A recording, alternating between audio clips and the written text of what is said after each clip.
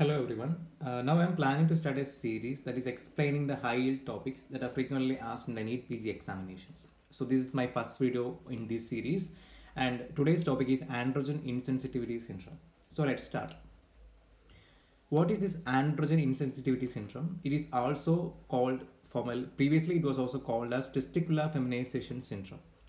And what is this condition? The end organs are unable to respond to androgens. In this condition, the end organs are unable to respond to androgens. And there is either mutation or lack of androgen cytosol receptor. This is just a small introduction regarding this testicular feminization syndrome or androgen insensitivity syndrome, both the same. And they are phenotypically and psychosocially females. The patient will be phenotypically and psychosocially females. Just three points. The end organs are unable to respond to androgens there is either mutation or lack of androgen cytosol receptor and the patient will be phenotypically and psychosocially female. And let's see what are the features these patients having. Primary amenorrhea or infertility. The breast, is, the breast will be well developed and there will be absent or sparse pubic or axillary hair. The vagina is short and blind. The uterus will be absent. The testes will be present and mostly they are undescended and the sex chromatin is negative. This is the catchy word that you have to keep in mind, sex chromatin negative. Because what is sex chromosome? Sex chromatin. Uh, the material is found only in the nuclei of the female cells and it is believed to represent the inactivated X chromosome. Then normally the female will be having XX karyotype.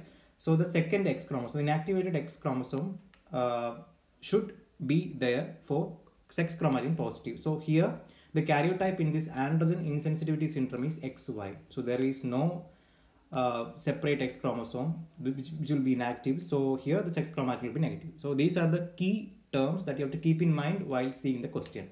The primary amenorrhea or infertility, the breast will be completely developed. So the secondary sexual characters will be actually normal. Absent or sparse pubic or axillary hair, the vagina is short, blind, uterus will be absent, the testis is undescended, sex chromatin negative because only one X chromosome is there, XY, that is a karyotype. Now let's see one question, how they're asking about the condition. A 16 year old girl with primary amenorrhea is found to have a blind ended vagina. The ultrasonography reveals that the uterus is absent. The breast development is adequate, stature is normal, while pubic and axillary hairs are sparse. The sex chromatin was negative. What is your diagnosis? This is a direct question, so you, you all know by now that the answer is androgen insensitivity syndrome and what are the catchy words or what are the key terms, keywords that you can find from this question.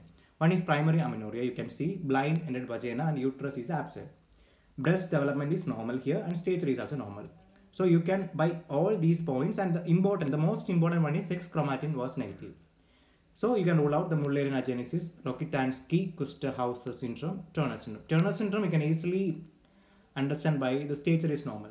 Uh, normally in Turner syndrome there will be short stature. So uh, I guess you guys understood what are the how to identify the key terms or key words from the question. Now let's see uh, the different or, or choices in this question.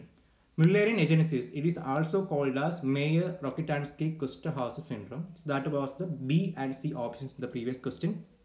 Here the karyotype is XX. So there will be sex chromatin present. So in the question they have given sex chromatin is absent. So with that only point you can differentiate it from uh, androgen insensitivity syndrome and Mullerian agenesis. And in Turner syndrome, I have already said short stays will be there and secondary sexual characteristics will be poorly developed. Breast development or, or will be poorly. But there, the breast development is adequate. So with these points, you're coming to the conclusion that the and androgen insensitivity syndrome is the answer. So likewise, they'll be asking questions in the examinations. And this androgen insensitivity syndrome is one of the high yielding topic in NEET PG examinations. Thank you. Have a nice day.